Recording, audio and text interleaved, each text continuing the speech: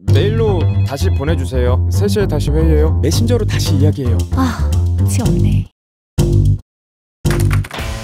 삼성 SDS Brity Works 일하는 시간은 줄어들고 업무 역량은 향상됩니다.